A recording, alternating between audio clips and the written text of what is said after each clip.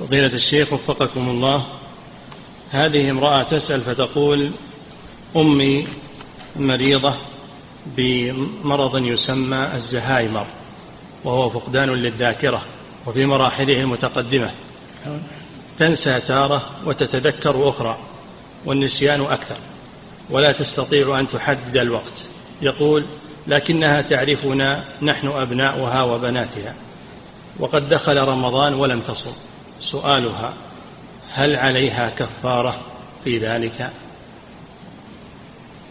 لم تصم؟ نعم. ليه ما ذكرتها؟ أنه دخل رمضان وتصوم. ذكروا الناس. نعم.